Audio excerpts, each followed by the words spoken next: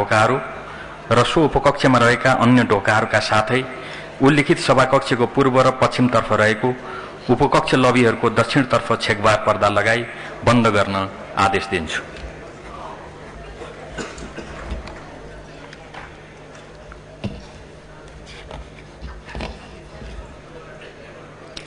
मान्य सदस्यहरू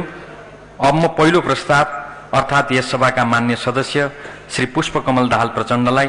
नेपालको अन्तरिम संविधान दुई हजार त्रिसठीको धारा अडतिसको उपधारा दुई बमोजिम प्रधानमन्त्री पदमा निर्वाचित गरियोस् भन्ने प्रस्तावलाई पुनः निर्णयार्थ प्रस्तुत गर्दछु।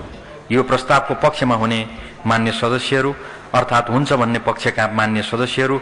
सभामुख आसनको दाहिने तर्फको लबीमा प्रवेश गरी त्यहाँ राखिएको मान्य सदस्यहरूको नामावलीको दस्तखत महलमा दस्तखत गर्नुहोला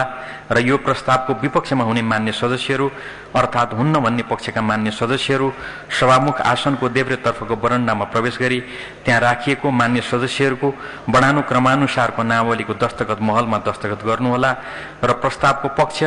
अर्थात् हुन्छ वा विपक्षमा अर्थात् हुन्न भन्ने पक्षमा मत प्रकट नगरी तटस्थ रहनुहुने अर्थात् मत दिन्न भन्ने पक्षमा रहन चाहनुहुने मान्य सदस्यहरूले सभामुख आसनको पछाडि रहेको कार्यव्यवस्था परामर्श समितिको बैठक कक्षमा राखिएको मान्य सदस्यहरूको क्रमानुसारको आफ्नो नामावलीको दस्तखत महलमा दस्तखत गर्नुहोला। मान्य सदस्यहरू यस प्रस्तावको पक्षमा अर्थात् हुन्छ भन्ने पक्षका मान्य सदस्यहरू सभामुख आसनको दाहिनेतर्फ रहेको उप उपकक्ष लबीमा प्रवेश गरी त्यहाँ राखिएको मान्य सदस्यहरूको क्रमानुसारको नामावलीको दस्तखत महलमा दस्तखत गर्नुहोस्। मान्य सदस्यहरू यस प्रस्तावको विपक्षमा अर्थात् हुन्न भन्ने पक्षका मान्य सदस्यहरू सभामुख आसनको देब्रेतर्फ रहेको उपकक्ष लबीमा प्रवेश गरी त्यहाँ राखिएको मान्य सदस्यहरूको क्रमानुसारको नामावलीको दस्तखत महलमा दस्तखत गर्नुहोस्। मान्य सदस्यहरू प्रस्तावको पक्ष अर्थात् हुन्छ वा विपक्षमा अर्थात् हुन्न भन्ने पक्षमा मत प्रकट नगरी तटस्थ रहनुहुने अर्थात् मत दिन्न भन्ने पक्षमा रहन चाहनुहुने मान्य सदस्यहरूले सभामुख आसनको पछाडि रहेको कार्यव्यवस्था परामर्श समितिको बैठक कक्षमा राखिएको मान्य सदस्यहरूको क्रमानुसारको आफ्नो नामावलीको दस्तखत महलमा दस्तखत गर्नुहोस्।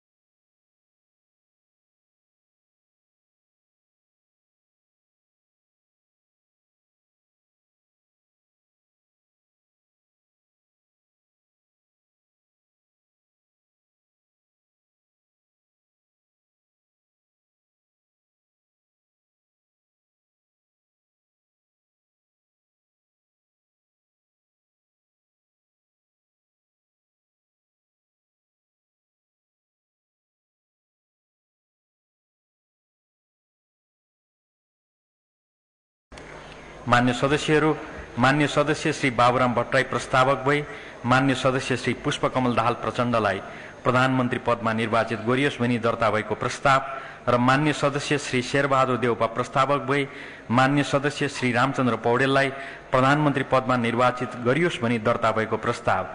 आज सातौं पटक निर्णयार्थ पेश भएकोमा कुनै पनि प्रस्ताव नेपालको अन्तरिम संविधानको धारा अडतिसको धारा दुई बमोजिम प्राप्त हुनुपर्ने बहुमतबाट पारित हुन नसकेको हुनाले आज निर्णयार्थ प्रस्तुत भएका उल्लेखित दुई प्रस्तावहरूलाई